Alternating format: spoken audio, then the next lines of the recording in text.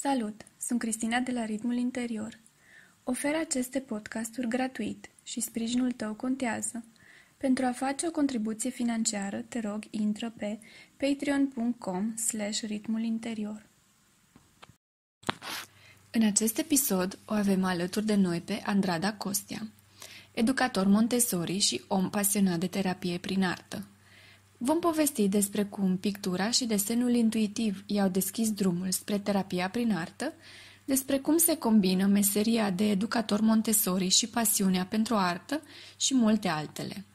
La finalul conversației, Andrada ne prezintă un exercițiu de pictură intuitivă și unul de pictura a emoțiilor pe care le puteți face singuri acasă.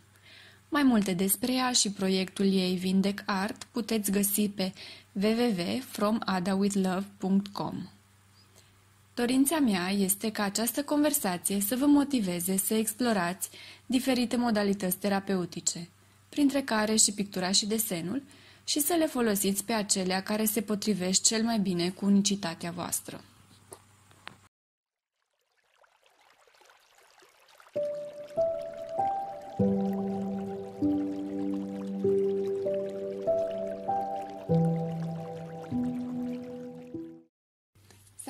Salut, Andrada!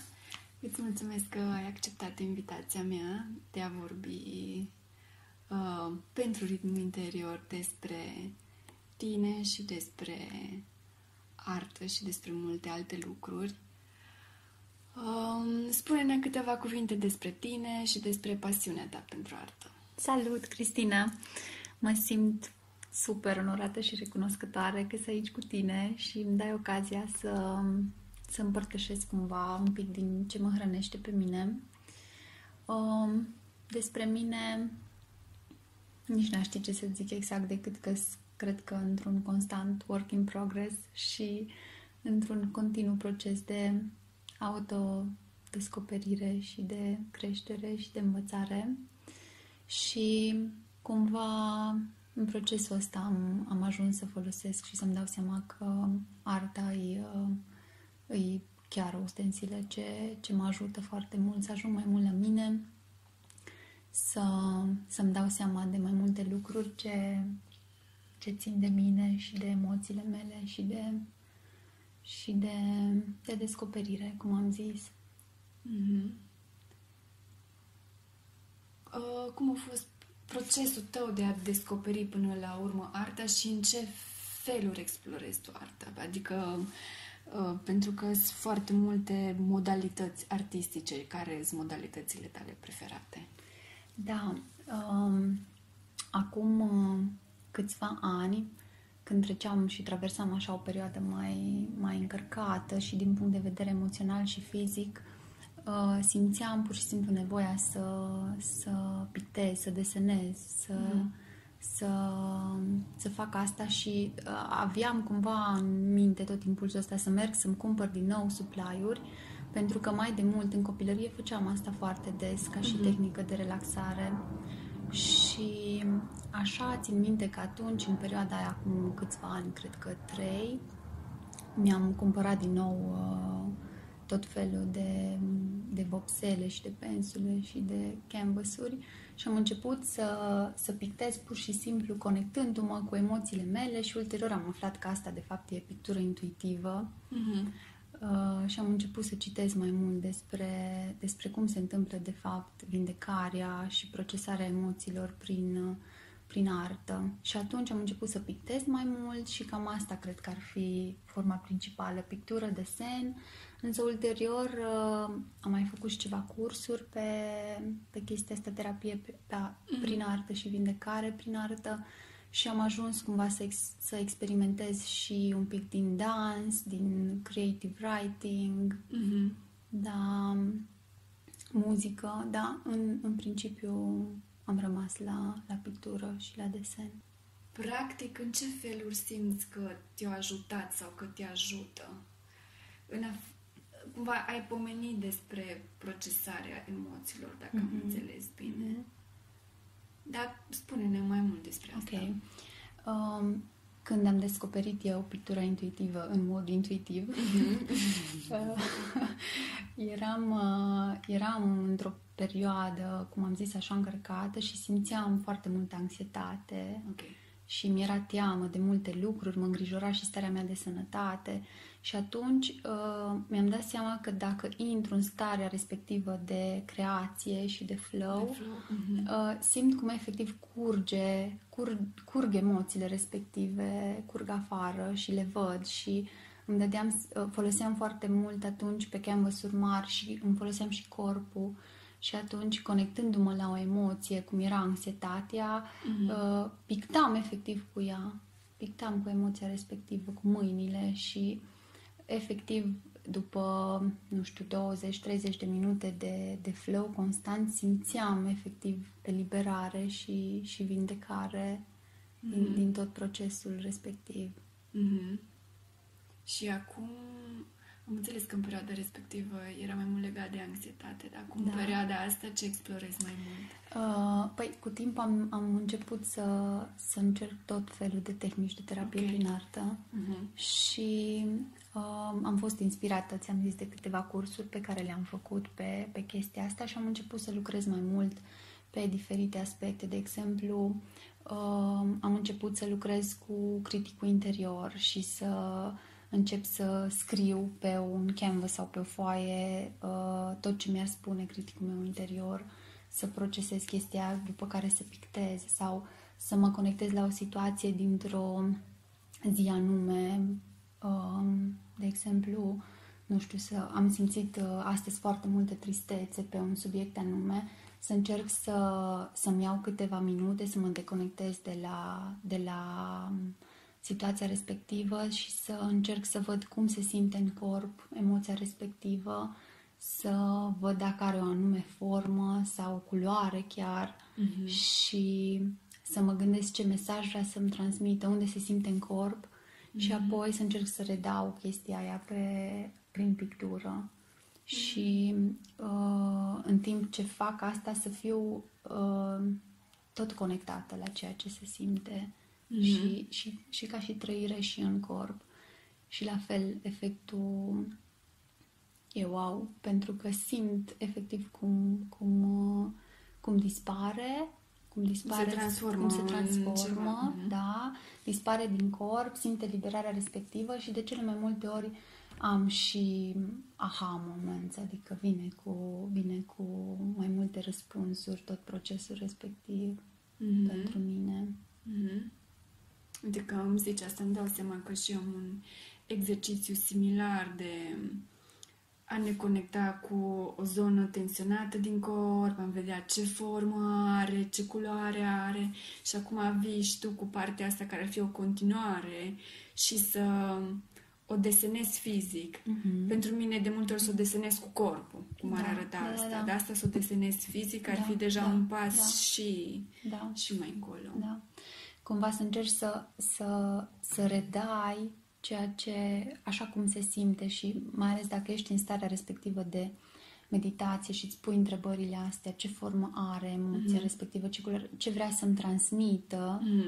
uh, vin tot felul de, de mesaje cumva din subconștient, din, dintr-un higher self, dintr-o intuiție care cred că nu ar, adică știu din propria experiență că nu vin pur și simplu când încerci să le să le descifrezi din minte. Se Mhm. întâmplă lucrurile cumva dintr-o altă zonă, intuitivă, creativă Mhm. și din alt flow. Vorbește-ne despre proiectul tău Vindec Art. Da, proiectul meu Vindecart. Um, în, um, în ultimele luni am, um, m-am gândit că ceea ce fac cumva are multă valoare pentru mine și simt, uh, simt că mă ajută foarte mult și am simțit nevoia să dau mai departe. Și cum era și început de pandemie și stăteam în, uh, în carantină și eram cu toții în case, m-am gândit să fac o serie de workshop-uri online. Aha. și așa cumva a venit Vindecartul, arta care vindecă, practic tot ceea ce am simțit eu în ultimii ani m-am gândit să dau mai departe și am făcut o serie de workshop-uri online strict în perioada aceea de carantină, cred că am avut șase sau șapte întâlniri Mhm. în care am explorat diverse, diverse teme. Am avut workshop de pictură intuitivă, am avut un workshop de mandale, importanța lor și care e procesul și acolo. Um, am avut inclusiv partea asta de care ziceam de, de lucru cu emoțiile, se, cred că s-a numit Împictez emoția și uh, îmi doresc foarte tare să reiau seria asta de, de ateliere și fizic acum dacă, dacă e posibil. Mm-hmm. Uh, pentru că super mult m-a motivat ce s-a întâmplat acolo. Am conștientizat practic că da, ceea ce mi se întâmplă mie, li se întâmplă și altor oameni. Da. Mm-hmm. Și mi se părea incredibil uh, feedback-ul fetelor care, care au participat și faptul că vedeau, uh, vedeau efectiv transformarea și vindecarea și toate insight-urile ce le, ce le uh, căpătau practic din procesul la în care intram împreună. Mm-hmm. Și chiar îmi doresc să, să pot să dau asta mai departe și în format fizic, să nu mai fie, să nu mai fie online. Și tot atunci, prin proiectul ăsta Vindecart, cumva, având atâta timp în carantină, am început să, să creez o serie de carduri mm-hmm. pe care le-am văzut și eu. Pe care le-ai văzut și tu și care încă nu sunt gata și nu cred că știe nimeni încă de ele. Uh, sunt date la print. Cardurile respective, practic, uh, o să cuprindă multe tehnici de terapie prin artă și mindfulness și uh, explorare interioară și conectare să cumva gândite să conțină cam tot ce am învățat anii ăștia legat de, de, de terapia prin artă. Mm-hmm. Și abia aștept să, să apară și atunci o să zic mai multe. Deci o să fie niște carduri care o să poată fi cumpărate, mă gândesc. Da, apoi. da, da, mm-hmm. da, da. Un set de carduri o să fie ca un ghid de explorare a sinelui și de descoperire și de conectare la partea asta de creativitate și mm-hmm. procesarea deci emoțiilor. Deci un proiect care crește. Da, da. crește și cumva se întâmplă și de la sine prin, prin mine, prin faptul că e practic ceva ce mă hrănește pe mine și am dorința de a hrăni și alți oameni. Mm-hmm. Deci, din câte știu eu, ești educator Montessori și văd foarte multe poze pe care le pui pe Facebook sau pe Instagram cu diferite activități pe care le faci cu copii, diferite proiecte și uh, sunt curioasă cum se combină pasiunea ta pentru artă cu uh, a fi educator. Um, da, faptul că lucrez cu copii mă, mă hrănește și asta foarte tare și mi-am dat seama că se îmbină și, se, și vine cumva mână în mână cu, cu ceea ce fac și, și partea de artă și pentru mine. Pentru că um, cumva zi de zi sau cel puțin săptămânal ajung să creez materiale pentru copii, materiale educaționale unde uh, pun foarte mult din partea asta artistică și creativă acolo. Mm-hmm. Și din totdeauna mi s-a părut foarte important uh, focusul din primii ani de viață pe, pe partea asta de gestionare a emoțiilor și pe, pe partea de, de awareness, de ceea ce simt. Uite, acum simt furie, acum simt tristețe, acum simt dor Mm-hmm. Și referitor la dor, de exemplu, săptămâna trecută am avut uh, o fetiță uh, care plângea pentru că era dor de mama mm-hmm. și am, ajun, am ajutat-o cumva să conștientizeze asta, că este dor de mama și uh, câțiva copilași care erau în zonă au auzit discuția și au zis ok, și mie mi-e dor de mama, și mie mi-e dor de mama. Și am zis, ok, uh, dorul e o emoție și hai să vedem cum ar fi dacă ne-am conectat la asta și am pictat-o. Mm. Și am ajuns, uh, de-am făcut un atelier de practic terapie prin artă cu copilași de 3-4 wow, ani care uh, pictau dorul și a fost, uh, a fost așa de liberator pentru că am făcut și cu ei o meditație scurtă în care ne-am conectat la dorul de mama și am simțit unde se simte și așa de drăguț să auzi un copil de trei ani că îl simte în gât sau în burtică și ok, și acum cum ar arăta dorul, că mi-e dor de mama mea, cum arată? Și un copil așa desenat o floare pentru mama, că mi-e dor de ea, altul un cer, altul pe mama care mănâncă înghețată Oh, și da, și așa reușesc să cumva să îmbin um, practicile, practicile astea de terapie prin artă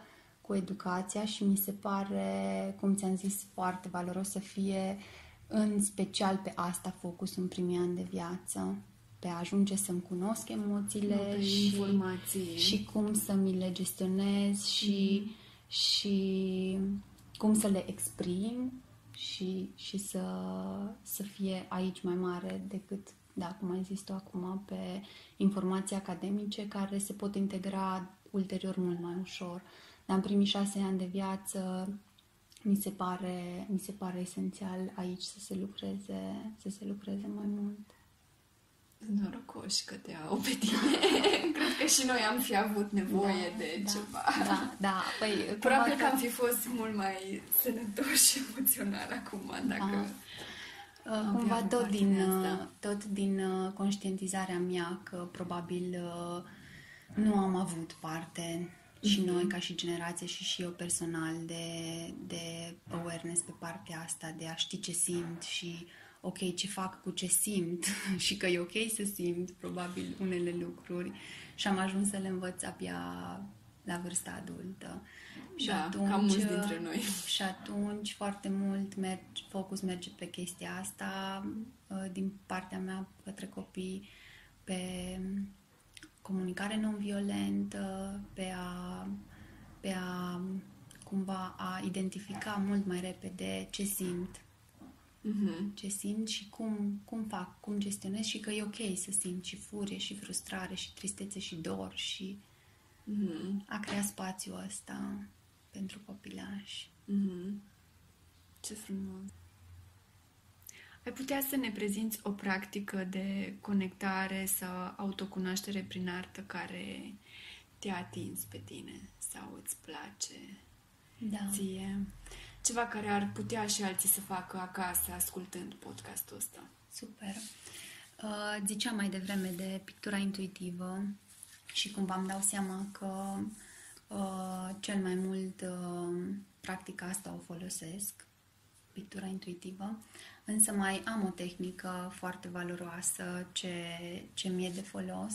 Se numește ca și exercițiu Color Your Day, mm-hmm. adică să-ți colorezi ziua și presupune cumva un exercițiu de introspecție și de meditație la final de zi, probabil dacă ai avut o zi mai uh, tensionată sau mai încărcată emoțional, să stai, să, să te gândești la ce ai simțit peste zi, nu știu, am simțit frustrare și furie și poate și tristețe și să te gândești uh, uh, oare în ce măsură le-ai simțit, cea, nu știu, am simțit mai multă tristețe decât furie sau mai multă frustrare decât tristețe și ce culori, să le desemnezi o culoare, de exemplu, furia e roșie, furia mea e roșie, frustrarea e verde și tristețea e roz. Mm-hmm. și atunci, uh, cu ajutorul, practic, ai trei culori și trei, uh, și trei uh, cantități diferite din culoarea respectivă și cu, cu informațiile astea poți efectiv să colorezi o mandală, de exemplu, mm-hmm. și să te gândești că cel mai tare te-a afectat probabil furia și ai simțit-o mai intens și a fost mai puternică și s-a manifestat pe un, pe un uh, interval mai lung de timp în ziua respectivă. Și atunci poți să-i dedici, uh, nu știu, tot centrul mandalei. Și tristețea a fost doar puțin în situația respectivă și poate i-a curs doar câteva petale și atunci, făcând procesul ăsta, poți să conștientizezi practic la final, ok, așa arăta ziua mea mm-hmm. și să vezi efectiv, uh, să o vezi efectiv uh, în față mm-hmm. și să, să începi apoi uh, iarăși un proces similar cu ce vorbeam mai devreme, ok, ce ori vrut să-mi, trans- să-mi transmită emoțiile astea, ce nevoi aveam neîmplinite, probabil, când, când am ajuns să le simt, uh, ce am făcut, ce aș putea face și uh, tot în procesul ăla în care, în care colorezi să, să încerci să eliberezi sau să, să accepti că pur și simplu au fost niște stări și, Mhm. și le-ai, le-ai eliberat. Și prin pictura intuitivă, c- cum ar fi? Pictura intuitivă cum ar fi? Da, pentru că poate pentru unii, pentru tine e foarte clar, dar pentru alții nu. Ok. E clar cum se întâmplă. Uh, pictura intuitivă uh, implică un proces de introspecție înainte, prin care iarăși te conectezi la, la um, o emoție sau o trăire sau probabil chiar uh, o traumă sau un, un eveniment cu un impact emoțional puternic Ok. și să încerci să le exprimi, să le exprimi fără o formă anume, adică pur și simplu uh, de asta îi zice intuitiv că poți să-ți pui vopsea pe mâini și să o împrăști pe un întreg canvas și să, să, o, să o împrăști folosind toată emoția ce ai simțit-o sau ce o simți atunci în corp, Mhm. conectat la starea respectivă, Mhm. fără să ții cont de nimic, de Deci formă, pornind mai de, mult de la senzațiile din corp. interioare Da, da, da. și ajungând la o formă care nu știi. Da, care să nu fie. știi sau care poate chiar să nu fie o formă, poate să ajungă efectiv un canvas plin de negru Mhm. sau de culori amestecate care, care cel mai probabil să pară ceva abstract și să nu reprezinte nimic pentru cineva care observă lucrarea respectivă, dar pentru tine efectiv să fie procesul prin care ai eliberat o chestie foarte, care te, te afecta foarte tare emoțional în trecut. Mm, vreau și eu să fac. Da. Ok. Ce altceva mai vrei să împărtășești cu noi? Cred că am, uh, cred că am zis mare parte din, uh, din ce știu referitor la subiect și am acoperit cumva și ce ține de pictura intuitivă, care mi e super dragă și alte activități de art terapii. Însă mă gândeam să zic că uh, cumva am conștientizat clar că art has healing powers și e, e o ustensilă ce poate fi folosită de către oricine, practic. Noi, uh, noi fi- în fiecare există și partea asta artistică și creativă de exprimare și explorare și încă de mici copili eram, eram conectați la desen ca și, ca și activitate de relaxare și făceam asta. E ceva ce, e ceva ce dacă acum nu se întâmplă la viața adultă, probabil, uh, probabil, probabil am uitat, dar există în noi în fiecare și clar, uh, dacă ne dăm voie să procesăm și să, și să intrăm în starea asta meditativă și de flow, de a crea prin desen sau prin pictură, uh, se întâmplă, se întâmplă vindecare și procesare și pe partea asta emoțională. Ok. Îți mulțumesc mult, Andrada. Da, cu drag, cu mare drag, Cristina.